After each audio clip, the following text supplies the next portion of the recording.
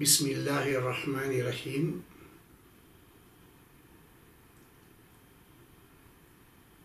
Nel nome di Allah, il sommamente misericordioso, il clementissimo. Guida e misericordia. Quando Adamo ed Eva furono estromessi dal paradiso e mandati sulla terra, si incontrarono in quella che è la più grande penisola del globo terracqueo, che oggi si chiama Arabia, e lì Adamo, in una valle del cuore di questa grande penisola, costruì il primo tempio dedicato al creatore dell'uomo e di tutto ciò che uomo non è.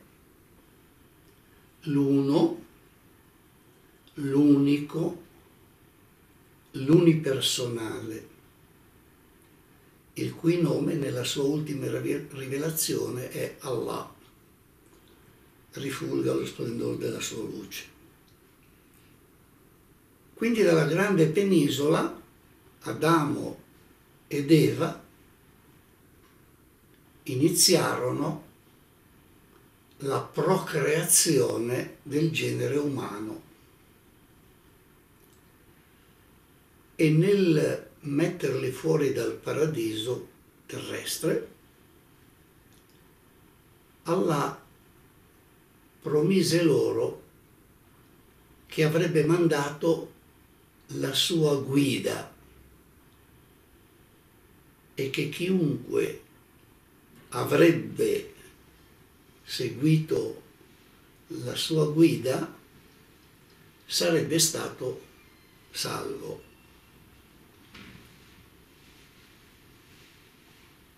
Il genere umano si diffonde il tempo passa, il diavolo che ha promesso ad Allah di attaccare l'uomo, di attaccare la progenie di Adamo da tutte le parti, dato che tra i figli di Adamo ci sono anche dei santi uomini, attorno ai quali si crea una devozione da parte di popolazioni, di gruppi, questi uomini a poco a poco vengono venerati e con il passare del tempo vengono divinizzati in base a quel famoso processo che si chiama apoteosi per cui determinate persone che hanno del carisma, dal culto della personalità di cui vengono fatti oggetto in vita, diventano poi destinatari di venerazione e poi addirittura di adorazione. Quindi la misericordia di Allah che era stata annunciata ad Adamo con l'invio della guida, prende forma fisica nel profeta Noè, nel profeta Noah. E il profeta Noah, essendo un profeta del creatore dell'uomo e di tutto ciò che uomo non è, mettendo in pratica i comandamenti che Allah aveva dato ad Adamo, che avevano dato vita a un sistema di comportamenti di obbedienza per cui la parola araba che lo indica è la parola Islam, per cui possiamo dire che Adamo fu un profeta dell'Islam, che potremmo chiamare Adamo, adamico, e questo Islam si dissolve nel tempo fino a quando eh, Allah viene messo in profondità nel panorama dei culti inventati dal diavolo per distrarre dal culto autentico e allora ecco che Noè viene investito della missione profetica. Anche Noè è un profeta del creatore dell'universo e dell'uomo a cui viene affidata la missione di richiamare gli uomini dall'idolatria, dal politeismo idolatrico al culto dell'uno unico e unipersonale. E Noè predica in privato, in pubblico, a livello individuale e a livello sociale, probabilmente avrà fatto anche delle conferenze, però invece di eh, chiamare faceva fuggire la gente, faceva fuggire la gente anche perché si era instaurato nel popolo di Noè un sistema di dominio dell'uomo sull'uomo che era garantito dal politeismo idolatrico. E quindi è chiaro che i sacerdoti del politeismo idolatrico e i detentori del potere non vedevano di buon occhio la predicazione eh, di, di, del profeta Noè, che venne seguito soltanto da quelli che erano i diseredati, da quelli che erano gli sfruttati di quel sistema di potere. E questo dicono i, i potenti della classe dominante di, del popolo di Noè, quelli che ti hanno seguito sono soltanto delle persone diseredate, delle persone da, da poco, noi non ti seguiremo.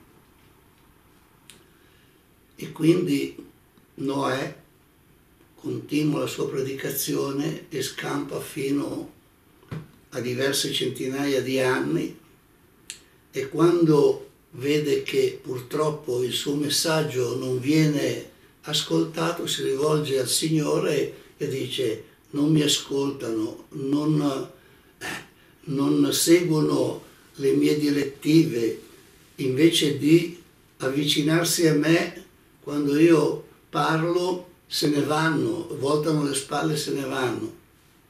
E allora eh, Allah che per sua misericordia verso l'umanità aveva suscitato Noè per richiamare gli uomini alla giusta direzione, all'unico culto vero che l'uomo deve avere, cioè di adorare il suo Signore, il suo Creatore e di non fare di suoi simili degli dei, dice a, Mosè, a Noè, dice a Noè, costruisci l'arca. E quindi ecco che la costruzione dell'arca è un segno della misericordia di Allah per i credenti. Infatti il profeta Noè costruisce l'arca sulle direttive ricevute dal, da Dio, da Allah, dal suo Signore, dal Creatore, obbedisce agli ordini del Creatore mentre i suoi denigratori si facevano beffe di lui e in base al, al, al, al proverbio che ride bene che ride ultimo,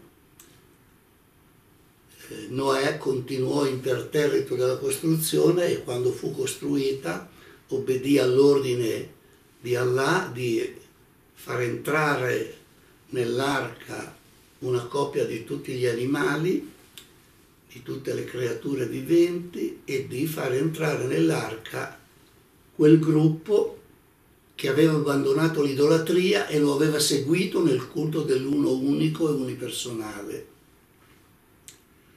E una volta entrati nell'arca ebbe inizio il diluvio universale. Ora Noè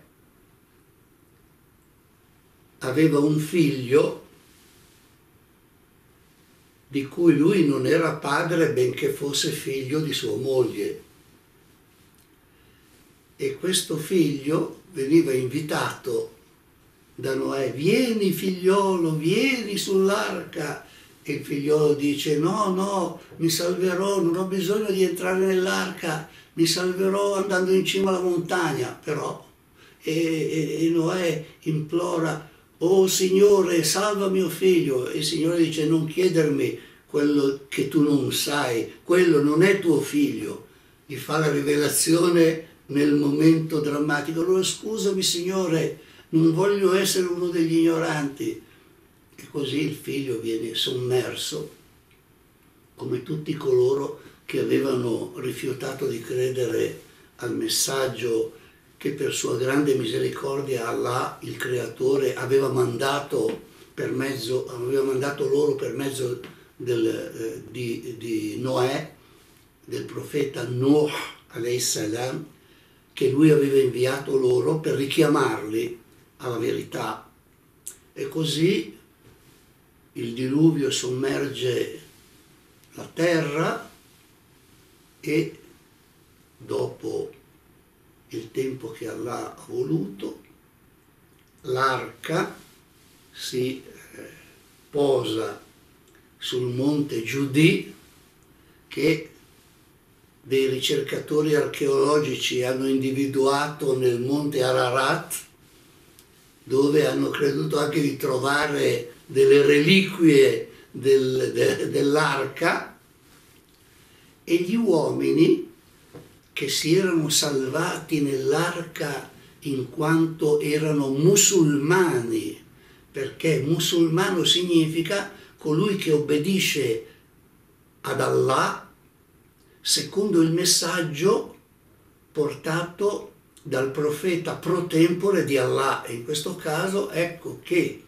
ciascuno di noi,